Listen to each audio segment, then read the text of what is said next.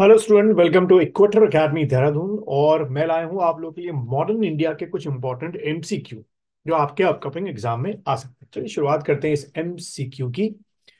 तो पहला क्वेश्चन आपकी स्क्रीन पर है and that is to which section of population the socio religious reforms movement of nineteen century mainly appealed थोड़ा सा क्वेश्चन को फिलोसफिकली घुमा के पूछा गया है। बट सिंपली इसको अगर मैं बोलूँ स्ट्रेट फॉरवर्ड क्वेश्चन तो जिस तरीके से आप इसको मान सकते हैं कि जो आपका सोशल रिलीजियस मूवमेंट था, वो मेन तौर पे इनमें से किस सेक्शन को ज़्यादा उसमें इन्वॉल्वमेंट था उनका कुछ इस तरीके से क्वेश्चन पूछे गए। बहुत ही अच्छा क्वेश्चन है। टाइम लीजिएगा आप पूरा।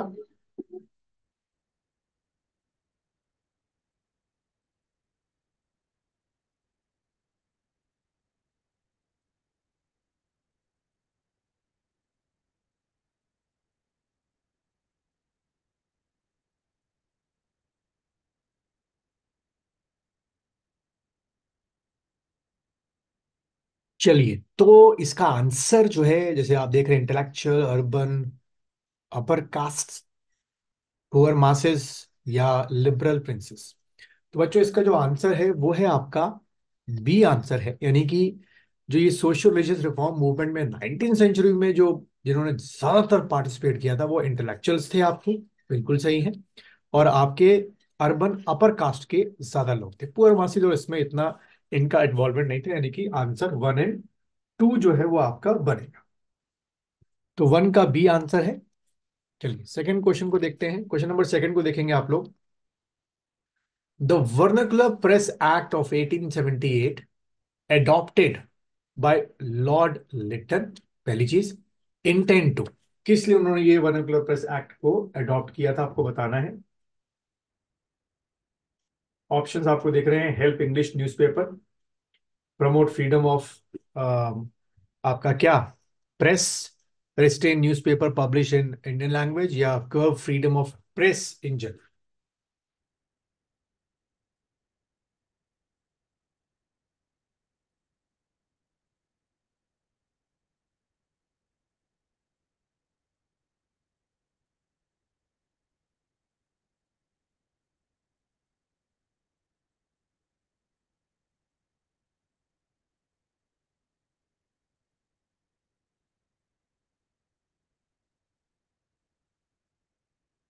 चलिए तो इसका मेरे ख्याल से आंसर अगर आपने थोड़ा बहुत पहले पढ़ा होगा गैस करना थोड़ा सा आसान होता है।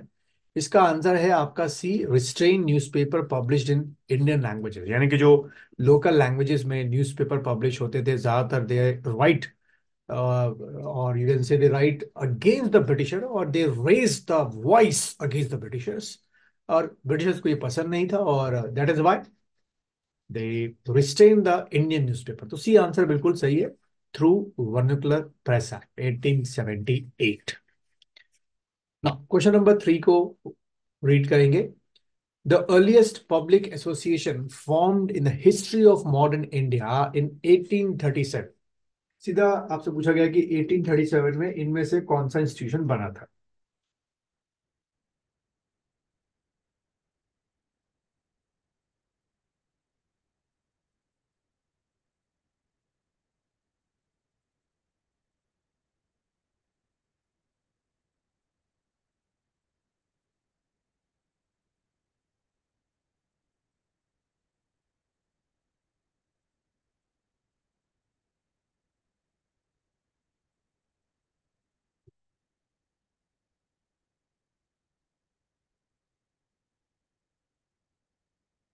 ऑप्शन जैसे आपके सामने the land holder society the Bengal British Indian society the British India association the Madras native association तो इसका है कि 1837 में ये आपको रट्टा मारना पड़ेगा। आपका बना था land holder society question number four को पढ़ोगे आप लोग। The name of the periodically among the following published by Mahatma Gandhi, during his stay word देखो, ध्यान दो किस पे है? During his stay in South Africa तो जब साउथ अफ्रीका में थे तो इनमें से आपका गांधी जी ने कौन सा न्यूज़पेपर जो था, या जो आर्टिकल थे मैगजीन थी पब्लिश किया था?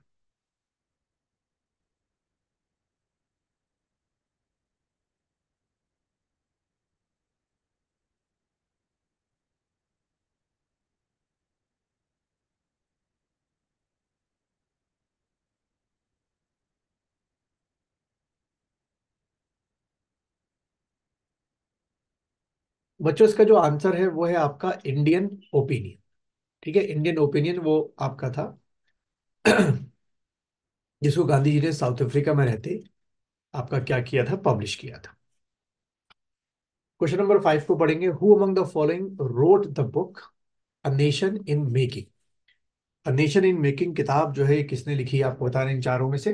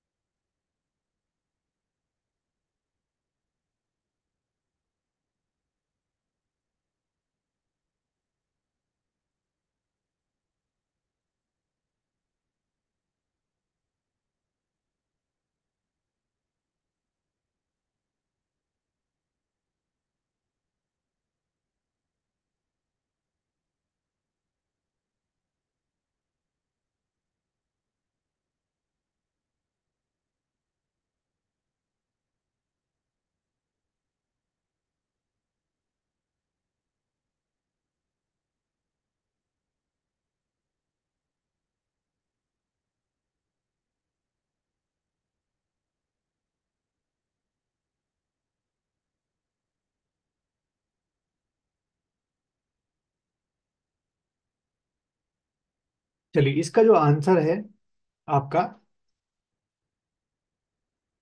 वो है सुरेंद्र नाथ बनर्जी। ठीक है? सुरेंद्र नाथ बनर्जी जो थे, उन्होंने नेशन इन मेकिंग को लिखा क्वेश्चन नंबर सिक्स देखेंगे। Which British governor general introduce postage stamp in India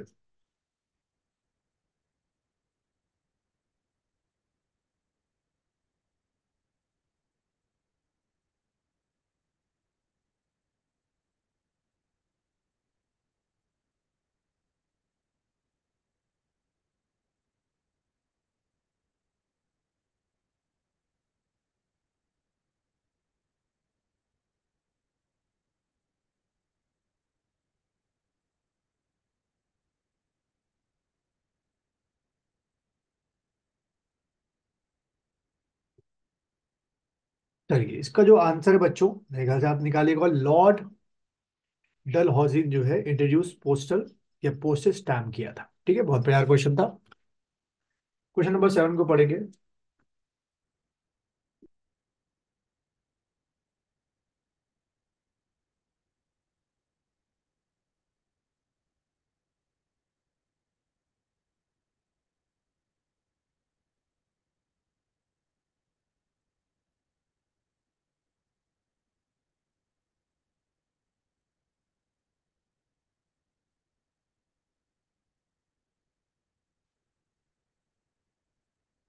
Which one of the following was the first association to be form in चारों में से सबसे पहली एसोसिएशन जो है, वो पूछा गया कौन सी?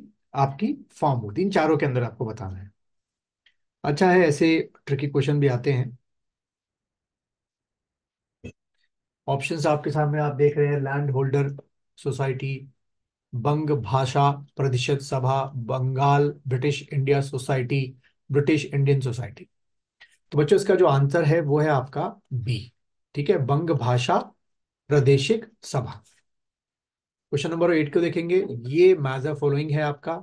एक तरफ़ आपके एक्ट्स दे रखे हैं, एक तरफ़ उनके अंदर का जिस्ट दे रखा है आपका। सो फॉर्म आपको बताना है इसमें से क्या अगर आपको इसके दो भी पता होंगे तो आप आराम से इसको कर लेंगे।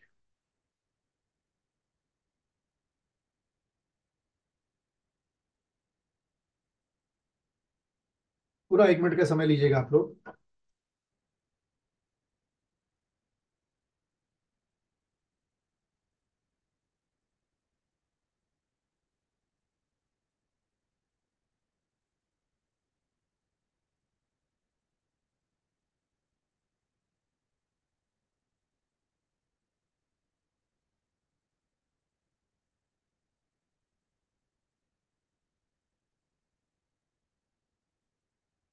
चलिए। इस क्वेश्चन की अगर हम लोग बात करें तो इसका जो आंसर है, वो है आपका ए आंसर है। अब ए किस तरीके से है? ए का थ्री यानी कि पिट्स इंडिया एक्ट 1784 जो है, उसमें क्या था? Centralization of companies under control of British parliament B का टू है क्वींस प्रोक्लेमेशन ऑफ़ 1858 इसमें प्रोविज़न क्या था? End of East India company rule and Indian India यानी कि India comes under the British crown ठीक है? अगर आपको ये भी पता होगा बी का टू तो आप सी और डी काट चुके होंगे और ए और बी में आंसर तय होंगे। बाकी फिर आप इसको मिला सकते हैं आराम से। Question number nine match following फिर से है।